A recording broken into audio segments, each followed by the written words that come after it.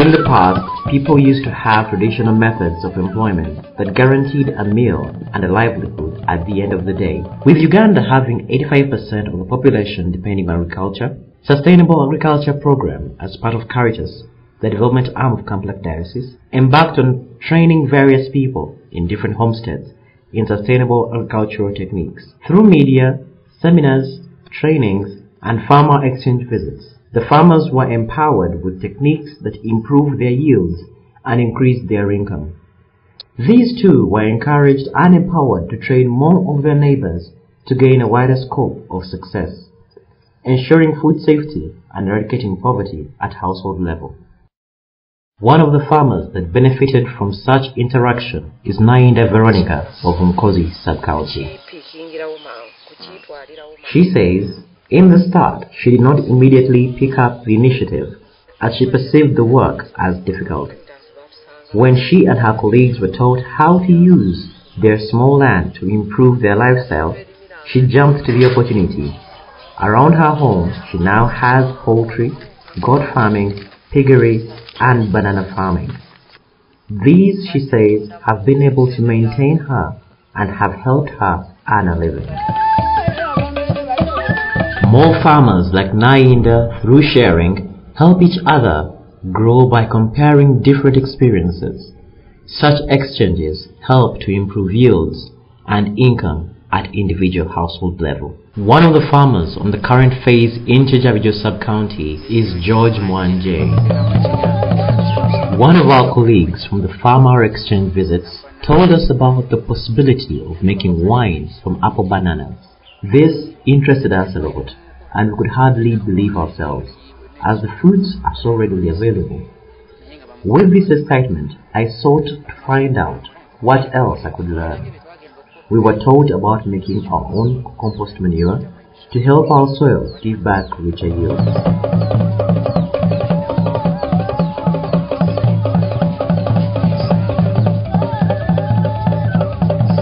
I was able to take up poultry farming as well, and I decided to devote some more of my land to growing my own maize to feed the birds. With the training I got from Sustainable Agriculture Program, I was able to learn how to store such great yields and to process them to various uses, like maize bran for my chicken. With all this, I have great hope for the future.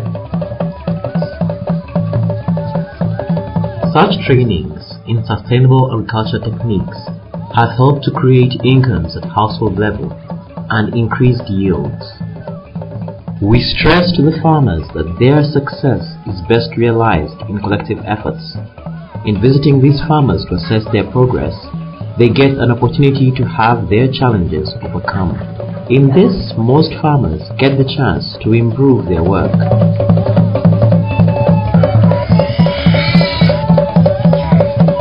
When the sustainable agricultural techniques start bearing fruit, this leads to massive yields that leave these farmers with surplus stock. When this happens, the farmers are encouraged to store their surplus produce in their community seed banks.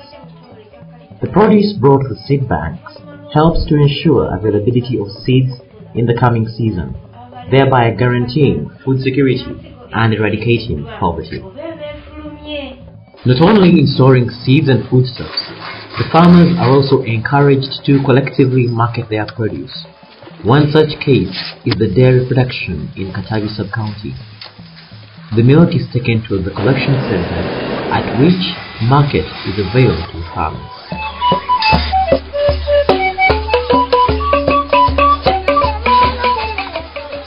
Patrick steven nga tuli wano e namagoma collection center When food security has been achieved, farmers are trained in value addition processes like juice and wine making.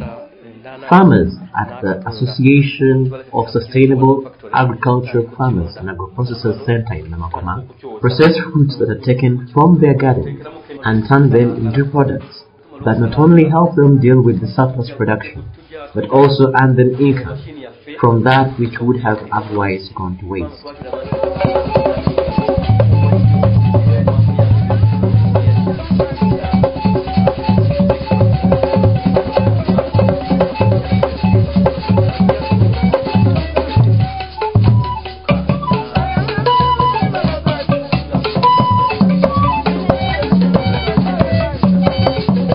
There are platforms of marketing realized through such collectivity, increasing the bargaining power of the farmers in the market.